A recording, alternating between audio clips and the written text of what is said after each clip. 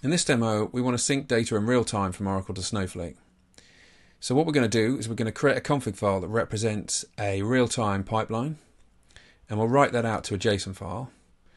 Then we'll fire up HalfPipe as a microservice and post that config file to the service so that it launches the pipeline. And now we can see that the pipeline is running and we've got some stats. So first up, it's going to synchronize the source and the target tables and make sure they're the same. So what we're going to do is we're going to add some records to the source and we want to see those fired straight across to the target.